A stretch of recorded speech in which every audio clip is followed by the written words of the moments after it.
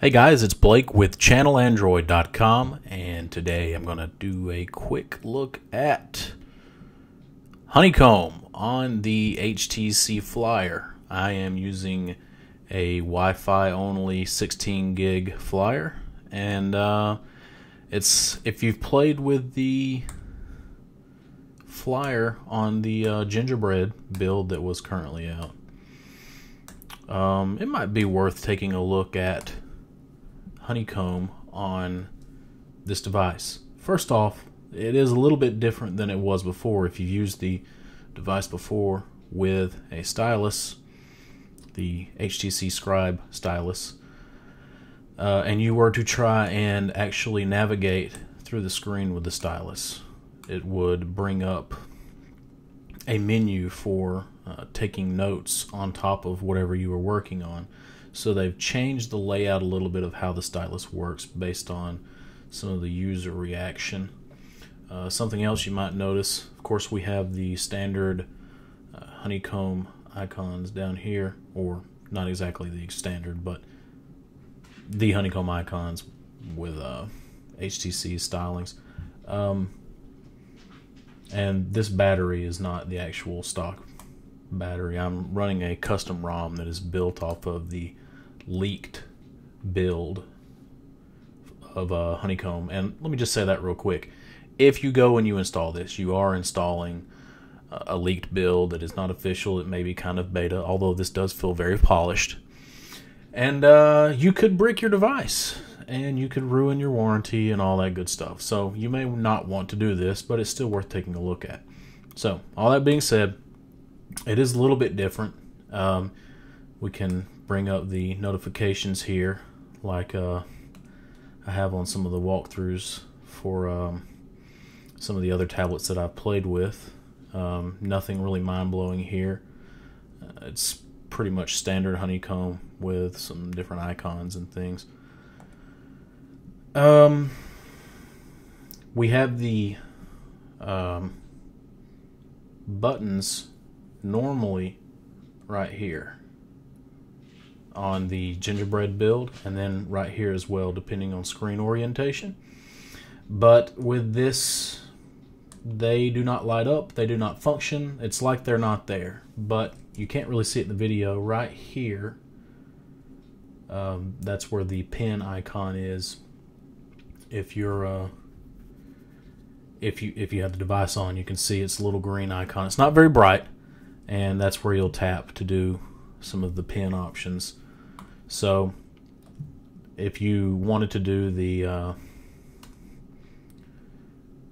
the way that it used to be and access Scribble, basically it takes a screenshot and then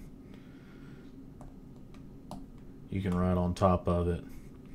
Uh, that's what used to happen when you put the stylus onto the screen and you weren't in a uh, area where the the stylus was intended to be used, but now um, you can actually use the stylus as you would your finger, which was not there before. So, and then you can hit save, and let's just get go back home. Okay, so like I said, you can use the stylus as if you're using your finger. Um, we have a traditional app drawer icon that we've not seen on other honeycomb tablets. Um, and you see we have market search menu, and it's got a side to side scrolling here. Uh, all frequent downloads. Nothing really out of this world on this, but it is a uh, is a little different than stock. We have the personalized icon that you're familiar with if you used uh, an HTC phone uh, where you can hit the personalize button and then you can change scenes, uh, wallpaper, skin, change the lock screen, and this other stuff. I won't go through all of it. And of course, just like on the phones, you can do get more, and that will allow you to download more scenes. Um, but there's not that many, or skins rather. And then, of course, we have the plus sign here, like we do on other devices for uh, adding widgets to the screen. Uh, this pretty much has all of the widgets that you're used to seeing if you've had a HTC device as of late. We got plenty of calendars. Some of them are larger than the widgets on the phone, but it's pretty much the same widgets here as you would see if you were on a phone. Just a little bit of variation. We have some of the stock widgets on here still as well. So just kind of scroll through there and give you a quick look. Almost done. We have the Get More icon up here for downloading more widgets. So, yeah, it's Honeycomb with Sense, and it's pretty much not that different from the Sense that we've seen on um, non Honeycomb devices. It's very similar.